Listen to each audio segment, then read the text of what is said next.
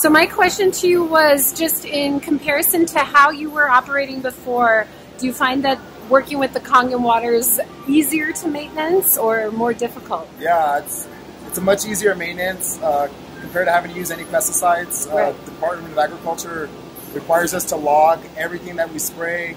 A lot of the stuff that is available on the market that's approved uh, is not safe to spray without coveralls or masks and stuff like that. So Yeah. we've gone away completely from using any pesticide and using the Kangen water. Yeah. And so we don't have to do any of the paperwork. I mean, we would spend like 30, 40 minutes before we spray just doing paperwork.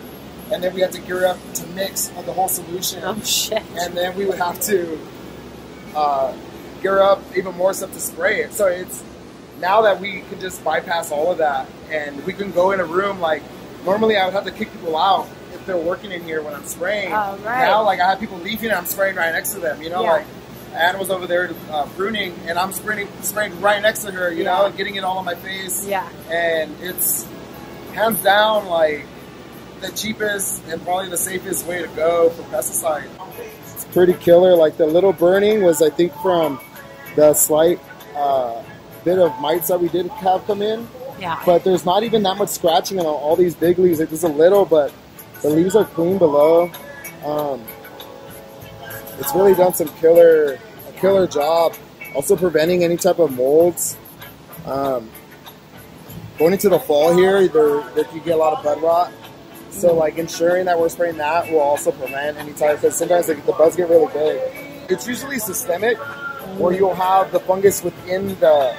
There's certain types. We try this. There's different ones that the fungus will be inside, and the, the main colas would rot from the inside out. Ah. So you would it would look beautiful on the outside, and you would open it, right. and it'll be black molds. Like just and that shit's really poisonous to smoke. Like you can't. Yeah.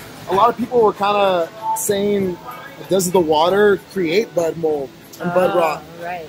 But because it's antibacterial, antifungal, there's, it doesn't have the environment to do that.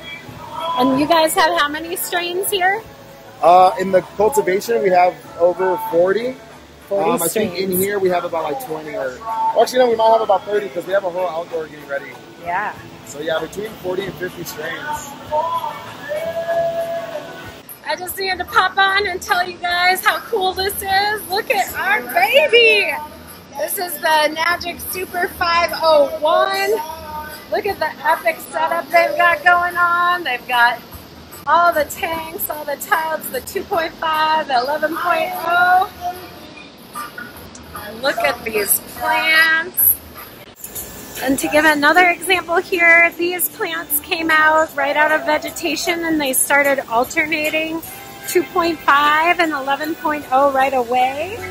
And they were able to uh, get really great uh, growth rate results as well as no bugs whatsoever in these first few weeks. Where they said they would for sure have bugs if they weren't spraying with this. It's all about balance. Yeah. And that's what I realized. Like even when I was going hard with the 2.5, it's better to go with the 2.5 mix with the 11 because it's a base. So yeah, it's pretty killer.